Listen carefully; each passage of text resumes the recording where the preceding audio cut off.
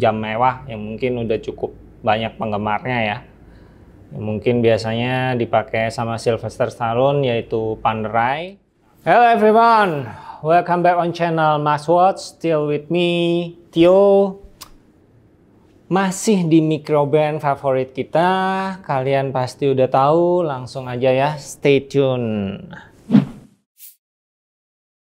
Yes, I'm back. Too soon? No, I don't think so. Ya, masih tetap di Spinnaker. Dan kali ini aku akan membahas family dari Hull. Tada, ini dia Hull ya. Kenapa gue bahas Hull? Pertama, Hull itu untuk awal-awal masuk ya di model Spinnaker itu dia modelnya ngambil dari salah satu jam mewah yang mungkin udah cukup banyak penggemarnya ya. Mungkin biasanya dipakai sama Sylvester Stallone yaitu Panerai. Nah, Hull itu populer di seri Hull California, itu salah satu best sellingnya. Terus abis itu lanjut ke Hull Riviera, which is modelnya lebih elegan dan casual. Well, kali ini nggak berhenti sampai di situ. Hull sekarang bikin series Hull Diver. Oke, udah penasaran sama speknya? Langsung aja ya, tetap stay tune, gue langsung bahas speknya. Oke, udah masuk ke pembahasan spek, langsung aja biasanya gue bahas dari case-nya dulu ya langsung aja ke diameternya. Ini kurang lebih di 42 mm tapi untuk lak-tulaknya ini lumayan agak panjang sih ya. 50 mm dan untuk ketebalannya sendiri ini lebih tebal sedikit ya. Ini 14 mm which is sebetulnya masih belum terlalu tebal sih juga ya. Kalau dibandingin sama seri Bretner ya dia lebih tebal tapi ini overall masih oke okay, dan diameter 42 masih bersahabat banget di wrist Asian ya. Maksudnya any wrist, kalian punya wrist gede, wrist sedang, wrist kecil. Contohnya gue yang punya wrist kecil, ini masih oke okay pakai dia. Sih, laknya emang panjang, tapi setelah dipakai sebetulnya nggak kelihatan terlalu panjang banget sih ya. Dan untuk case-nya ini bahannya stainless steel. Tapi di sini untuk bagian edge-nya atau di sampingnya sini ini finishingnya polish ya, which is ini agak mengkilap ya, polish. Nah, tapi untuk di bagian permukaannya ini lebih ke brush ya. Dan langsung untuk menuju ke strap, strapnya Hull Diver ini dari leather seperti biasa ya dengan logo emboss Spinnaker dan juga ada keterangan water resistant leather. Oke. Okay. Jadi buat kalian yang udah suka leather strap mungkin udah nggak perlu di custom ya. Dan tapi kalau kalian seandainya pengen ganti-ganti, ini lock width-nya itu 22 mm. So masih universal kalian bebas ganti. Terus gue langsung menuju ke rotating bezel, kalian pasti penasaran kan? Rotating bezelnya ini ada aksen warna rose gold di edge-nya ya, dan ini modelnya coin edge ya. Biasanya yang kayak gini namanya coin edge rotating bezel. Tapi insertnya yang biasanya ini alloy, kabarnya sih untuk khusus Spinnaker Hull Diver ini insert rotating bezelnya ini bahannya seramik dengan matte finish.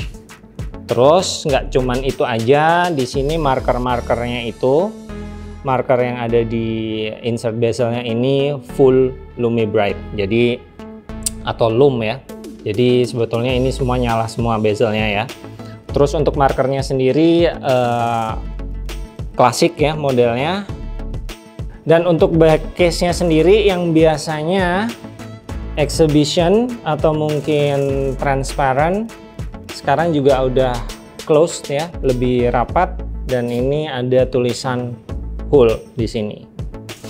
Dan untuk water resistnya ini juga berbeda dibanding yang lain. Biasanya water resistnya kalau yang lain-lain tuh kalau Spinnaker biasanya mungkin ada yang 150, ada yang 200. Nah, khusus soul diver ini dia water resistnya 300 meter atau 30 atm ya pressure-nya segitu dan untuk screw down crown masih tetap ya karena ini temanya diver jadi pasti uh, crownnya ngunci. Jadi kalian aku ingetin saya lagi setelah setting jangan lupa crownnya dikunci. Jadi supaya tetap kedap ya dari air. Untuk kacanya sendiri dia udah menggunakan sapphire crystal dome ya. Jadi dia agak cembung walaupun nggak cembung-cembung banget tapi ini cembung karena dia nggak nggak terlalu flat ya Terus untuk movement, dia tetap menggunakan movement automatic three hands TMI NH35 dan kalian pasti udah tahu ya itu movement buatannya mana. Kalian udah pasti tahu dan udah ada fitur hack and winding buat NH35 semuanya. Oh ya, untuk varian yang gua pegang ini namanya Officer Blue. Blue-nya juga beda dibanding jam yang udah ada ya lebih deep. Terus rotating bezelnya ini warnanya lebih ke grey tapi agak kebiruan ya. Untuk di strapnya sendiri ini bakal bentuknya ya. Jadi sebetulnya lebih friendly user cocok buat kalian yang suka style casual tapi little bit ada elegant touchnya dikit. Karena full ini gue bilang modelnya emang agak elegan sih walaupun tongkrongannya diver ya. Oh ya untuk buat kalian yang uh, suka hunting udah mau hunting ini kodenya adalah SP508805 buat varian yang officer blue ini. Langsung aja atau mungkin bisa cek di website kita. Itu yang ketik SP588 atau ketik langsung Hull Diver atau Hull aja with double L ya H U L L. Itu biasanya kalian udah muncul semua sih modelnya ya. Oh ya Hull ini punya beberapa varian warna ya. Kebetulan yang di sini yang gue pegang adalah Officer Blue yang tadi gue bahas.